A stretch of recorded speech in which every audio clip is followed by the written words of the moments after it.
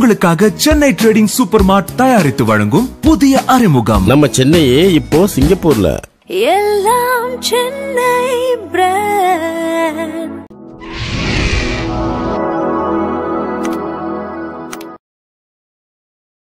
hello friends welcome to Asathal TV இந்த channel aunties அங்கிள்ஸ்க்கு ஒன்று கிடையாது.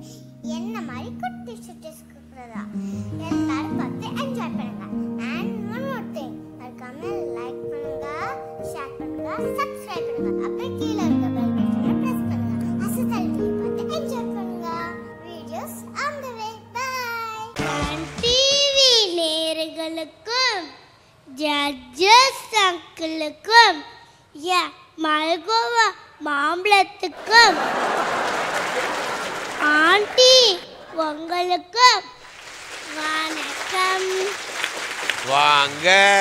தருண் இப்ப என்ன பண்ண போறீங்க?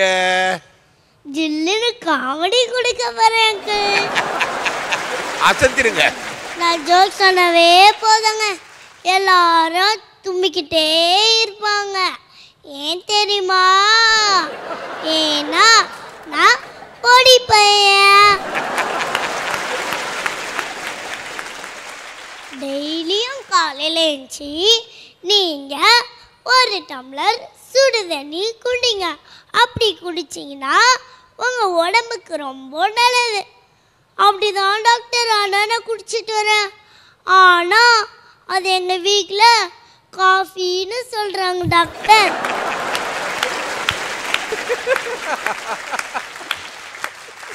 டாக்டர் டாக்டர் எனக்கு கோல்டு அதிகமாக இருக்கு டாக்டர் சரி அதுக்கேற்ப ஆப்ரேஷன் தட்டர் பக்கமாக வந்திருக்கேன் இல்லை டாக்டர் நான் அப்படியே ஆவி பிடிச்சிருவேலான்னு வந்திருக்கேன் டாக்டர் எங்கள் அப்பா ஆஃபீஸ்லேருந்து வர தான் அம்மா என்னை திட்டிக்கிட்டே இருப்பாங்கடா. ஏய் உங்கள் அப்பா மேலே உங்கள் அம்மா அவ்வளோ பயமாடா. அதெல்லாம் ஒன்றும் இல்லைடா. எங்க அப்பா வந்தாதான் அவரை திட்ட ஆரம்பிச்சிடுவாங்க.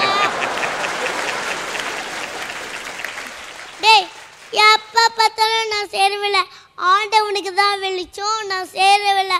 ஆண்டவனுக்கு தான் வெளிச்சம்னு சொல்கிறேடா அப்படி என்னடா வேலை செய்கிற டே நான் கோவிலில் லைட் போடுறேடா வக்கீலும் ஃப்ரெண்டும் பேசிக்கிட்டாங்களா? டேய் நீ இந்த கேஸில் ஜெயிச்சாலும் சரி தோத்தாலும் சரி எனக்கு நீ ஃபைவ் ஸ்டார் ஹோட்டலில் ட்ரீட் வைக்கணும்டா. ஏண்டா ஏண்டா இப்படி ஒரு ட்ரீட்டு பின்ன என்னடா? தோத்தா நூறாவது கேஸு ஜெயிச்சா முத கேஸு அதுக்கு தான்டா அப்பாவும் பையனும் பேசிக்கிட்டாங்களா? டேய் இங்க பாரா. நம்மளோட பெரியவங்க நம்மள திட்டினாலும் சரி அடிச்சாலும் சரி அவங்கள நம்ம எதிர்த்து பேசக்கூடாது. அமைதியாகவும் இருக்கணும். புரியுதாடா? புரியுது புரியுது. அப்ப மம்மி உங்களோட பெரியவங்க. கரெக்டா உன் பையனும் பேசிக்கிட்டாங்களா? டே என்னடா? அப்பா பேரை எழுதி ஃப்ரிட்ஜுக்குள்ளே ஏண்டா வைக்கிற? மம்மி டாடி தான் மம்மி சொல்லுவாரு. என் பேரை கெட்டு போகாம பார்த்துக்கோ என் பேரை கெட்டு போகாம பார்த்துக்கோன்னு அக்கா தம்பியும் பேசிக்கிட்டாங்களா?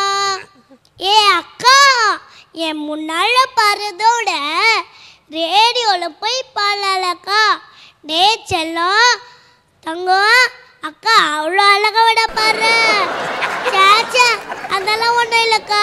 நீ ரேடியோவில் பாடுனா நான் ஆஃப் பண்ணி போட்டுருவல மிஸ் மிஸ் இங்கே பாருங்க மிஸ். என் தலையில் எறும்பி ஏறுது. டேய் எறும்பு ஏறிச்சு தூக்கி போனேன்டா.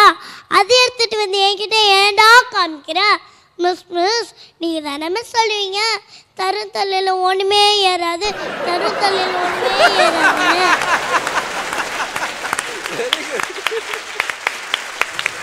வெல்டன் வெல்டன் தருண் தேங்க்யூ நீங்க அதுல ஒரு ரொம்ப நல்ல விஷயம் சொன்னீங்க. இதுல பாதிக்கப்பட்டவங்க ரொம்ப பேர் இருப்பாங்க. காலையில வெந்நீர் குடிக்கிறவங்க. ஆனா தருண் தலையில ஒண்ணுமே ஏறாதுன்னு அவங்க மிஸ் சொன்னதுக்கு அவன் எறும்பு எடுத்து காட்டியிருக்கான் பாருங்க. ஆமா. மிஸ் வேலையை ரிசைன் பண்ணிட்டு போயிருக்கோம். ஆனா யார் சொன்னது? உங்க தலையில ஏறுற மாதிரி யார் தலையில ஏறும்? இவ்வளவு ஞாபகமா? இவ்வளவு மாடுலேஷனோட நீங்க பேசுறது வேற மாதிரி ராகம் போட்டு பேசிக்கிறீங்க. வாத்தியார் பேசும்போது வாத்தியார் மாதிரி பேசுறீங்க. அந்த குழந்தை பேசும்போது நீங்க குழந்தை மாதிரி பேசிக்கிறீங்க.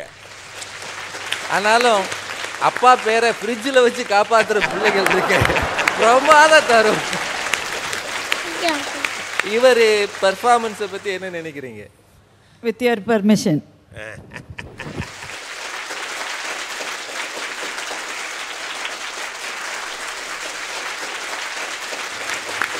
Thank you aunty thank you aunty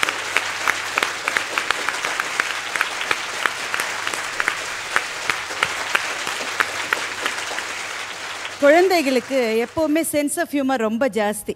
நேச்சுரலாக வரும். என் பொண்ணு வந்து சந்தோஷமாக வீட்டுக்கு வருவாள் அவள் வீட்டுக்கு வந்துட்டாளான்னு நான் ஆஃபீஸ்லேருந்து ஃபோன் பண்ணி கேட்பேன் வந்தாச்சம்மா வீட்டுக்கு? வந்துட்டேனே. சத்தம் பெருசாக இருக்கும். அப்புறம் மிஸ் வந்தாங்களா? இன்றைக்கி எந்த மிஸ்ஸும் வரல. கொஞ்சம் சத்தம் குறைஞ்சிரும். பரீட்சை மார்க்கெல்லாம் கொடுத்துட்டாங்களா? அப்படின்னா ding ding ding. Check the number you have dial நீங்கள் டயல் செய்து எண்ணை சரி பார்க்கவும் அப்படின்னு அவளே செய்கிறா குழந்தைகளுக்கு அவ்வளோ ஒரிஜினல் சென்ஸ் ஆஃப் ஹியூமர் இருக்கு. தருணை பார்த்து நான் அசந்து போயிட்டேன். என்ன சார் இது? இப்போ பூமியிலேருந்து ஒன்றரை அடி தான் இருக்குது அதுவும் ஒரு ஷூவை போட்டுக்கிட்டு. ஆமாம்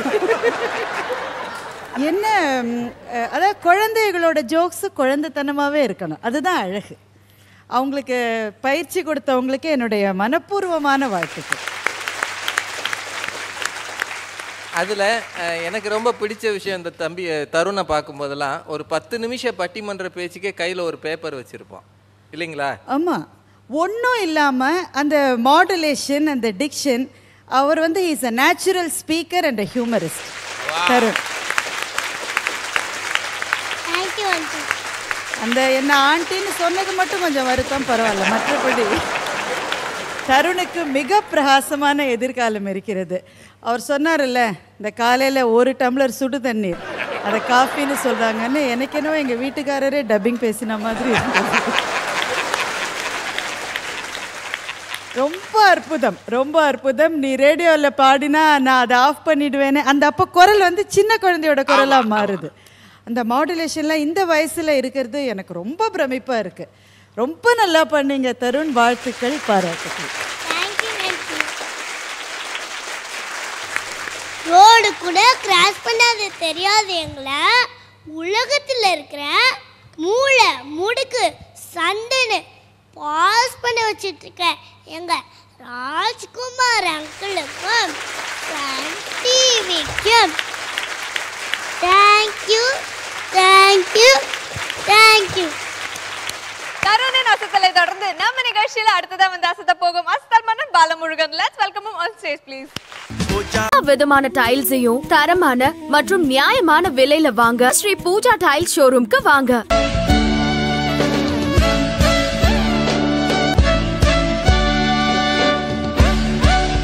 Sri Pooja tiles கோல்வின்ஸ் bus stop Avinashi road near KMCH Coimbatore. Sri Pooja tiles அழகிய எண்ணங்களின் சங்கமம். சன் டிவி நேயர்களுக்கும் மன்பாபு சார் அவர்களுக்கும் ராஜா சார் அவர்களுக்கும் சிறப்பு விருந்தினராக வந்திருக்கும் பாரதி பாஸ்கர். மேடம் அவர்களுக்கும் வணக்கத்தை தெரிவித்துக் கொள்கிறேன். சார் கான்செர்ட் போலாமா? ஆ வாங்க பாலமுருகன். சொல்லுங்க சார்.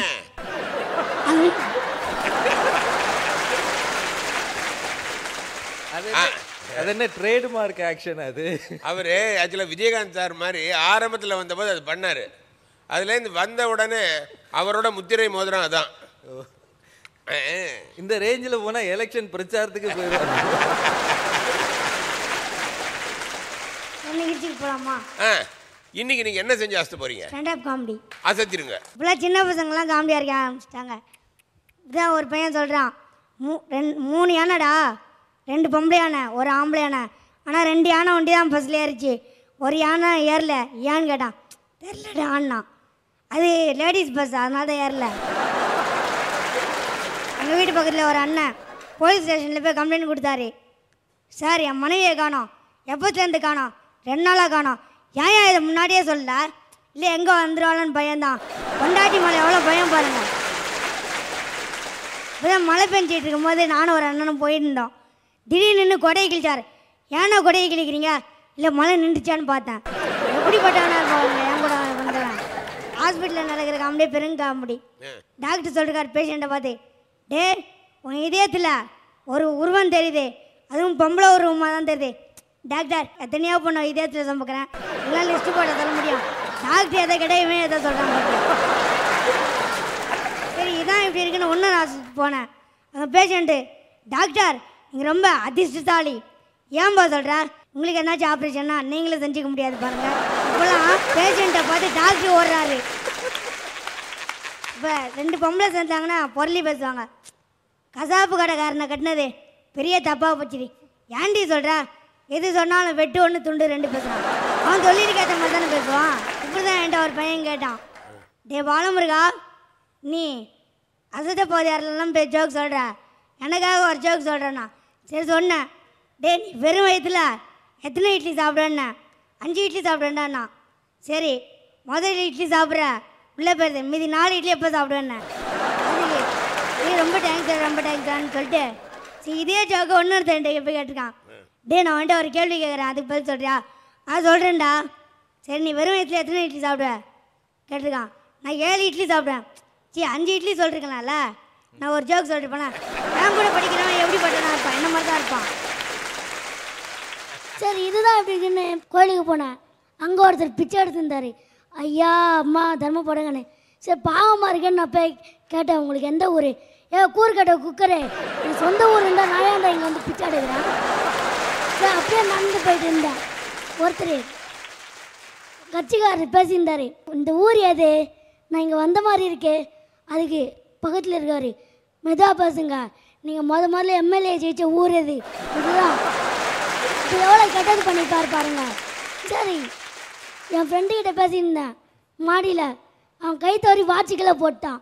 பத்து மாடியிலும் இறங்கிட்டான். போய் பிடிச்சிட்டான் வாட்சை. எப்படின்னு பார்க்குறீங்களா வாட்ச் ஸ்லோ அதனால தான் நன்றி நன்றி நன்றி. பாலமுருகன் சார். அசத்திட்டீங்க. தேங்க்யூ சார் நீங்க அதுவும் எல்லாம் சொல்லிட்டு இப்போ நீங்க நிறைய வளர்ந்துட்டீங்கன்றதுக்கு ஆள் இல்லை. நீங்க இன்னும் குட்டியாக தான் இருக்கீங்க. ஆமாம் சார். பட் சொல்லும்போது பாருங்க எப்படி பண்றாங்க பாருங்க. ஏங்க சொன்ன இதுவே தானா? அவர் எப்படி நினச்சிக்கிறார் பாருங்கன்னு கூட அந்த ஜோக் அப்படியே அப்டப்டாக நிறுத்தாம அது கூட ஒரு சின்ன ஒரு டெய்ல் பீஸ் ஒன்று ஆமாம் ஏன்னா அவர் பேசும்போது அந்த கனெக்டிவிட்டி கட் ஆகிக்கிட்டே இருக்கும். அதில் அவர் அழகா இணைப்பு அது அப்படியே, சொருகி- ஆமா. அதுல அந்த எம்எல்ஏ ஜோக் ரொம்ப நல்லா இருந்தது. Thanks. அவர் ஜெயிச்ச ஊரையே மறந்துட்டு இதுதான் நம்ம ஊருன்னு பத்து பேர் அறிமுகம் பண்ற மாதிரி. இல்லை இல்லை. இந்த ஊரை நான் இதுக்கு முன்னாடி எங்கேயோ பார்த்தா மாதிரி இருக்கேன்றாரு. மொள்ள பேசுங்க. இந்த ஊர்ல தான் முதல் வாட்டியா அது ரொம்ப நல்ல ஜோக்கு அதுக்கப்புறம் அங்க வந்ததே இல்லையா? எலெக்ஷன் டைம்ல வர எல்லா அரசியல்வாதிகளும் இதை யோசிப்பாங்கன்னு நினைக்கிறேன். தேங்க்யூ சார் நீங்க இவரோட பர்ஃபார்மன்ஸ் பத்தி என்ன ஃபீல் பண்றீங்க? ரொம்ப நல்லா பண்ணியிருக்காரு அருமையான காமெடி நீங்கள் சொன்ன மாதிரி அந்த எலெக்ஷன் டைம் ஜோக்கு இப்போ இனிமேல் நம்ம ஊரில் ஜோக்ஸுக்கு பஞ்சமே இருக்காது. எலெக்ஷன் ஆமா, வரப்போகுது ஆமா. இல்லையா? அதை ரிஃப்ளெக்ட் பண்ணி நல்லா பண்ணாரு. நல்லா பண்ணுங்க வாழ்த்து தேங்க்ஸ் நன்றி நன்றி நன்றி. ஓகே மேடம் முதல் முறையா நம்ம நிகழ்ச்சி அதுவும் நேரடியா பார்த்து சிரிச்சு ரசிச்சீங்க. இந்த அனுபவம் எப்படி இருந்தது? நான் எதிர்பார்த்த மாதிரியே இல்லைன்னு சொல்லணும். எப்படின்னா நான் எதிர்பார்த்தது என்னென்னா டிவியில் பார்த்து மட்டும் இங்கே அழுக்காமல் சலுக்காமல் இவங்க ஜோக் சொல்லிகிட்டே இருக்கும்போது நான் நினச்சேன் பக்கத்தில் ப்ராம்ப்டிங் இருக்கும். யாராவது சொல்லி கொடுக்குறாங்க. இல்லாட்டா எப்படி எப்படி அடுக்கடுக்காக சொல்கிறாங்கன்னு நான் நினச்சிக்கிட்டு இருந்தேன். இங்கே வந்து பார்த்தா தான் தெரியுது எந்த விதமான ப்ராம்ப்டிங்கும் இல்லாமல் அது இத்தினோண்டு பொடுசுலேருந்து பெரியவங்க மட்டும் நாங்கள் பட்டிமன்றம் பேசுகிற மாதிரி தான் என்ன பெல் இல்லை. அதை தவிர மற்றபடி எந்த பிரேக்கும் இல்லாமல் சரம் சரமாக காமெடி வருது. எனக்கு ரொம்ப ஆச்சரியமாக இருந்தது. நான் எதிர்பார்த்ததை விட பல மடங்கு இந்த அனுபவம் எனக்கு வித்தியாசமான அனுபவமாக இருந்தது. மேடை அனுபவத்தில் என்னை விட நீங்கள் சீனியர்னு நினைக்கிறேன். மேடையில் பேசுகிறது எவ்வளவு கஷ்டம்னு உங்களுக்கும் தெரியும். சில நேரங்களில் ரொம்ப யோசிக்கிற விஷயம் வராது. அப்புறம் முடிஞ்சு நான்லாம் ட்ரெயினில் மதுரைக்கு போகும்போது ஞாபகம் வரும். எவன் கேட்பான் எல்லோரும் தூங்கிட்டு இருக்காங்க. அது மாதிரி ஒரு நெருக்கடி இருக்கிற நமக்கு இந்த மாதிரி ரொம்ப சின்ன குழந்தைங்க யங்ஸ்டர்ஸ் எல்லாம் அருமையாக பேசுகிறாங்க பெர்ஃபார்ம் பண்ணுறாங்க அதை பார்க்கும்போது ரொம்ப சந்தோஷமாக ரொம்ப இருக்குது சந்தோஷமா இருக்கு. ஏன்னா டைமிங்கிறது தான் ரொம்ப முக்கியம். எனக்கே வந்து நான் பேச்சாளராக பட்டிமன்ற பேச்சாளராக ரொம்ப வருஷம் இருந்திருக்கேன். ஆனால் பேச்சுக்கு நடுவில் ஜோக் சொன்னால் அது ரொம்ப பெரிய பாவன்ற மாதிரியான எண்ணத்தில் தான் நான் பல வருஷங்கள் இருந்தேன். பாப்பையா சார் டீமுக்கு வந்த பிறகு தான் அது வந்து பேச்சு கேட்குறவங்களுடைய வேலையை அது ஈஸியாக்குறதுன்ற விஷயமே எனக்கு அப்புறம் தான் புரிஞ்சுது. ஆனால் அந்த மாதிரி நகைச்சுவையாக பேசுறது மாதிரி ரொம்ப கஷ்டமான விஷயம் எதுவுமே கிடையாது. சத்தியமாக வராது. அதுக்கு அந்த டைமிங்கிறது எவ்வளோ முக்கியம் அப்படின்றது வந்து இங்கே இருக்கிற பல பேர்ட்ட நான் பார்க்க முடிஞ்சுது. தமிழ்நாட்டில் வந்து நம்ம சொல்லவே வேணாம். நாகேஷ் மாதிரியான ஆட்கள் டைமிங் சென்ஸ்ன்றதுக்கு ஒரு இலக்கணமாக இருந்திருக்காங்க. அந்த மாதிரி அபாரமான காமெடி சென்ஸ் இருக்கிறவங்க வந்து கோலோச்சியோ பூமி இது. நம்ம மனோரமா ஆட்சி மாதிரி. அவங்களோட டைமிங் சென்ஸ் இதெல்லாம் அபாரமானது. இந்த மண்ணிலிருந்து வந்ததுனாலேயோ என்னவோ இங்கே வந்த எல்லாத்தையுமே அந்த டைமிங் சென்ஸ் ரொம்ப நல்லா இருக்கிறத நான் பார்த்தேன். அது நான் ரொம்ப என்ஜாய் பண்ணேன் இங்கே. ஒரு வித்தியாசமான அனுபவம்.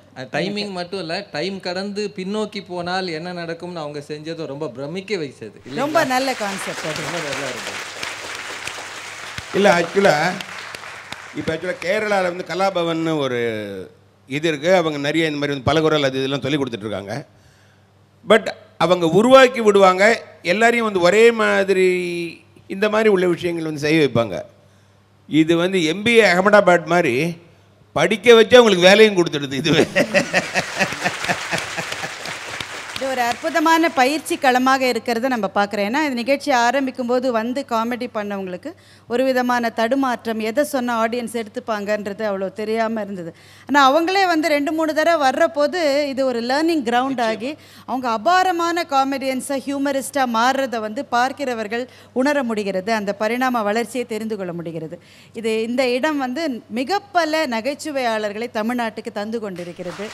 அந்த விதத்தில் எனக்கு ரொம்ப மகிழ்ச்சி. இந்த அற்புதமான நிகழ்ச்சியை அமைத்து நகைச்சுவையாளர்களை வளர்த்து கொண்டு வருகின்ற சன் டிவிக்கும் இந்த அசத்த போவது யார் டைரக்டர் உள்ளிட்ட அந்த குழுவை சேர்ந்த எல்லாருக்கும் டெக்னீஷியன்ஸ்க்கும் இந்த நிகழ்ச்சியை ரொம்ப அழகாக சுவாரஸ்யம் குறையாமல் வழங்கி கொண்டிருக்கின்ற ராஜா சாருக்கும் மதன் பாப் சாருக்கும் தொகுப்பாளர் உஷா அவர்களுக்கும் எல்லாருக்கும் என்னுடைய நன்றி வணக்கம். மறக்காம லைக் ஷேர் பண்ணுங்க சப்ஸ்கிரைப் பண்ணுங்க. இப்போ கீழே இருக்க பெல் பட்டனை ப்ரெஸ் பண்ணுங்கள் அசத்தல் டிவியை பார்த்து என்ஜாய் பண்ணுங்க. பாய்